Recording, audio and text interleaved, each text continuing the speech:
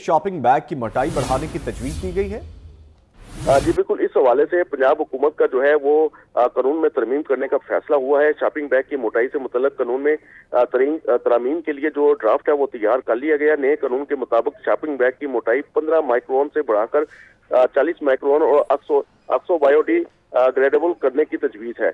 महकमा तफज माहौलियात ने मुजवजा ड्राफ्ट कानूनी राय के लिए वजारत कानून को भेज दिया है। प्लास्टिक बैग्स में खाने पीने की गर्म जो अशिया डाली जाती हैं, वो कुछ हद तक मुद्र सेहत भी हो सकती हैं। रिपोर्ट में महकमा माहौलियात का ये इंकशाफ हुआ है। जी।